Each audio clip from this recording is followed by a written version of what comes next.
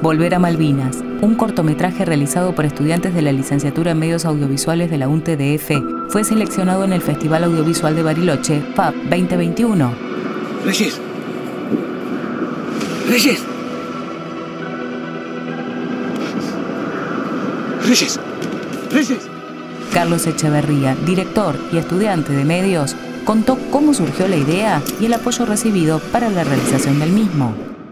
La idea surge de, un compañero mío que se llama Martín Morales. La inspiración, bueno, surge de, del grupo, pero más de Martín, de la idea de, hacer algo sobre Malvinas y bueno, después lo llevamos a cabo.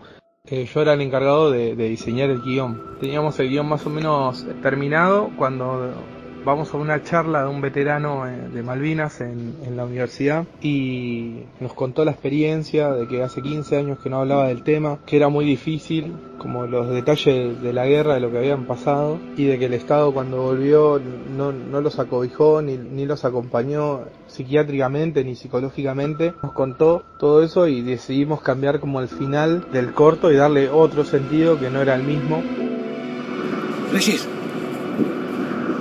Reyes.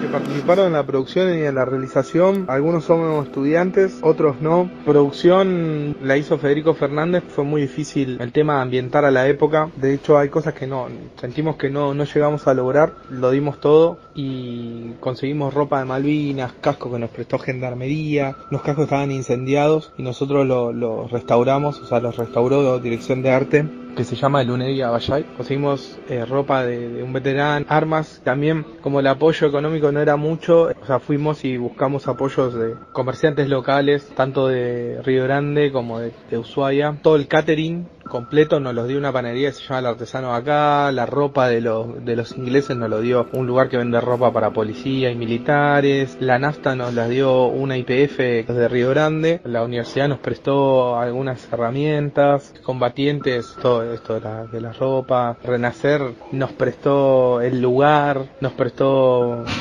eh, la enfermería, que es todo lo que es interiores. También es un poco la, pasión y la energía que nosotros tenemos, que, que nos impulsa a, llevar los proyectos. O sea, igual hoy se están dando muchos, muchos proyectos audiovisuales gracias a la carrera de medios audiovisuales en la universidad. Reyes.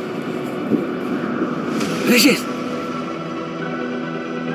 ¿Qué expectativas tenemos con el FAP? La verdad que estábamos muy contentos de haber entrado. Nosotros no pudimos viajar, desgraciadamente queríamos ir y estar ahí, ver en vivo las reacciones de la gente, pero no pudimos. La verdad muy contentos de que con respecto al premio y el reconocimiento de parte de Cinear, mucho más, o sea, es un mimo para el alma y, es reconocer todo el esfuerzo que nosotros hicimos para llevar a cabo ese cortometraje. El, bueno, el premio de Cinear es de difusión en las plataformas y en el canal de Cinear y bueno, seguir festivaleándolo para, para que lo conozcan más personas. Más información en www.untdf.edu.ar o en las redes sociales de la Universidad Nacional de Tierra del Fuego.